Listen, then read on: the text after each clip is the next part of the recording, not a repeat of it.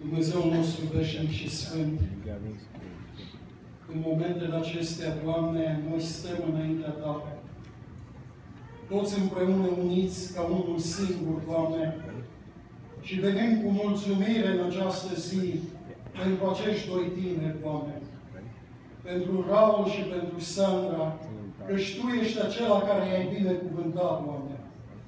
Îți mulțumim că în viața lor Tu ai lucrat într-un mod deosebit și din lumea aceasta i-ai ales, Doamne, ca să te slujească și să te iubească pe Tine.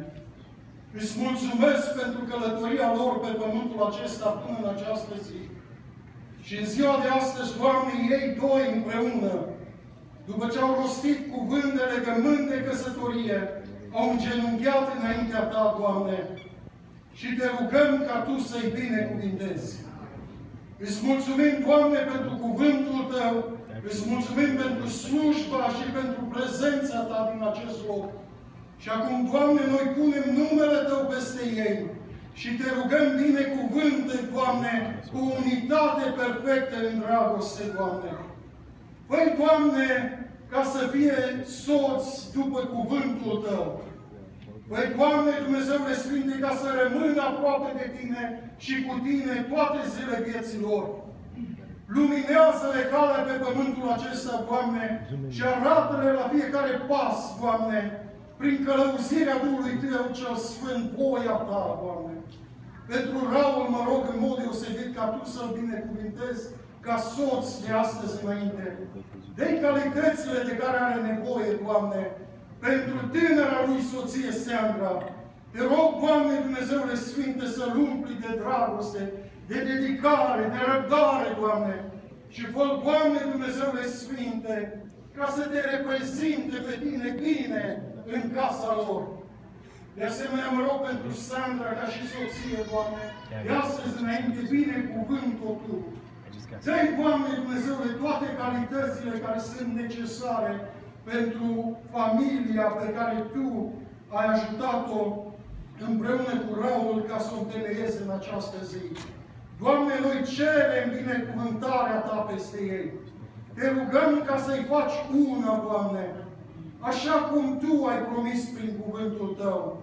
Și toate zile vieții lor, Doamne, să rămână uniți în mod desăvârșit.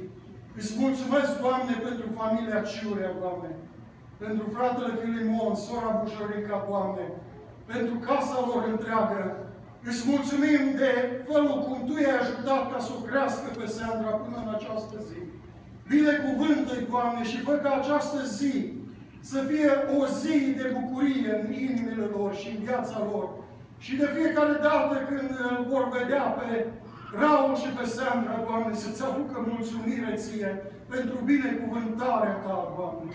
De asemenea, pentru fratele Nicu și pentru sora Florica, Doamne, ne rugăm astăzi ca Tu să-i binecuvintezi. Răsplătește tot efortul lor, Doamne, și tot ceea ce ei au făcut pentru creșterea lui Raul, Doamne, și pentru familia lor întreagă, Doamne. Punem numele Tău peste această familie nou formată astăzi, Doamne. Binecuvântă Tu și celelalte familii din biserică, Doamne. Poate sunt aici soți și soții care au nevoie, Doamne, de intervenția Ta și de o nouă binecuvântare, Doamne. Tu ești bogat și la Tine este izvorul tuturor binecuvântărilor. Binecuvântă biserica aceasta, Doamne. Binecuvântă fiecare familie din această biserică și numele Tău să fie slăvit și binecuvântat în veci. Amin.